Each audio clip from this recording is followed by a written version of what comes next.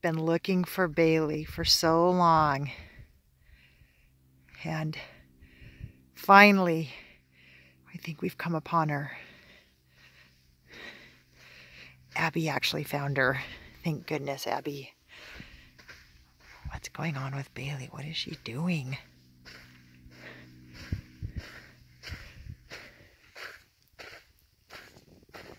Bailey, we've been looking for you for five years. I can't believe we found you. Amy? It's me, Amy, and Abby. Abby?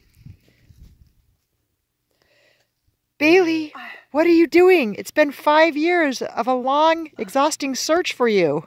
I've I'm completely healed. What happened? Last I saw you were missing and the gunmen shot you.